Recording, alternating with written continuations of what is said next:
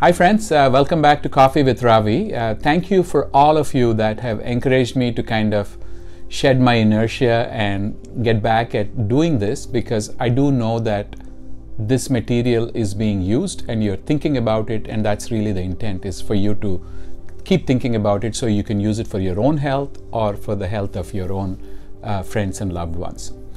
Today I, talked about, I wanted to talk about two liver diseases which are rather specific, but I wanted to talk about the broad general principles about how we think about these liver diseases so that you get a little bit more about that because the diseases themselves are a little specific. What I wanted to talk about were two diseases called primary biliary cholangitis and primary sclerosing cholangitis.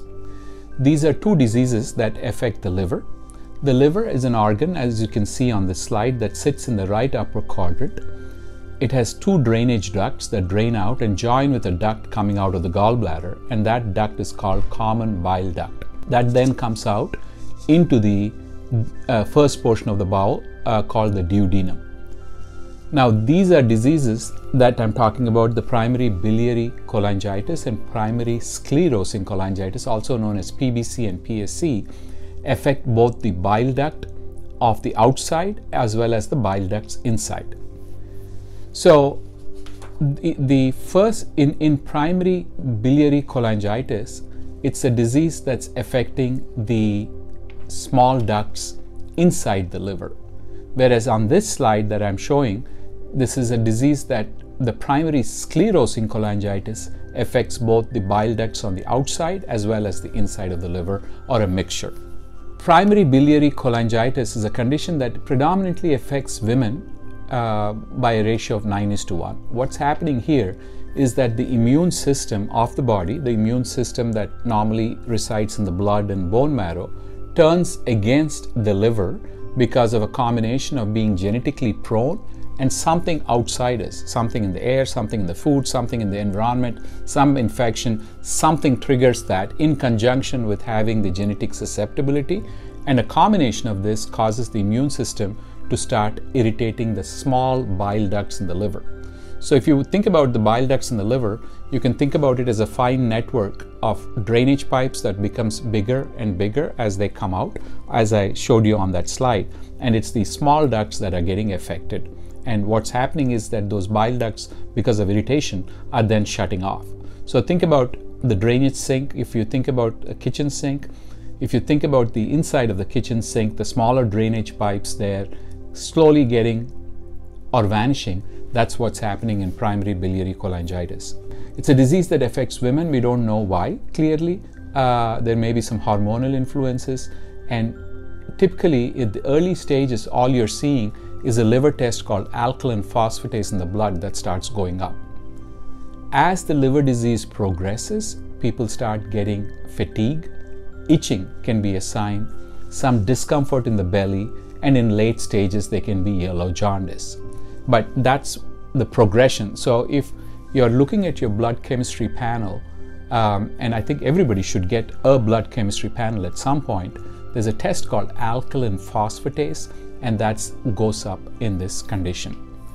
There's a antibody test or a blood test called AMA which then confirms that.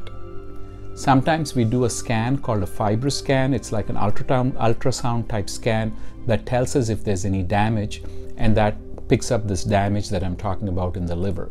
So a combination of these blood tests and this FibroScan can help diagnose it and typically we need to do a liver biopsy. Why is this important?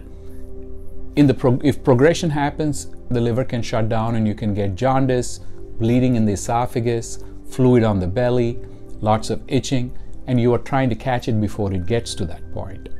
The second aspect of it is that what we're trying to do is try to give medications that prevent this or slow it down rather. The, and the, the medication that's available for PBC is a medication called ursodiol many times that slows things down. In people who have this bile duct diseases in general, vitamin D absorption or fat soluble vitamins, which are A, D, E, and K, can slow down. Sometimes, because of vitamin D deficiency and uh, the calcium absorption goes down, and you can get thin bones.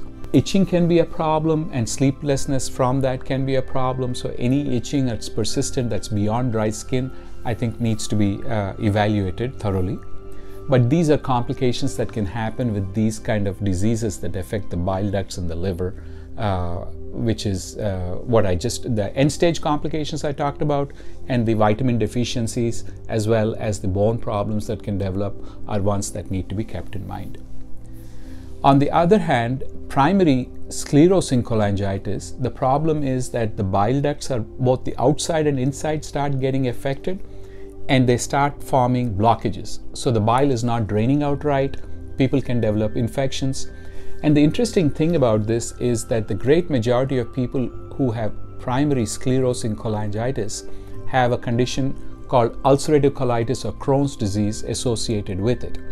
Ulcerative colitis is an inflammation, an immune driven inflammation of the colon. Crohn's disease can be of the colon or small bowel. Primary sclerosing cholangitis is present uh, associated with inflammatory bowel disease or ulcerative colitis or Crohn's in the vast majority of cases, about 80 to 90% of the time. That too is a progressive illness, and even if you can then diagnose ulcerative colitis and Crohn's disease and get controlled, sometimes the liver disease can continue to progress, occasionally all the way to requiring a transplant.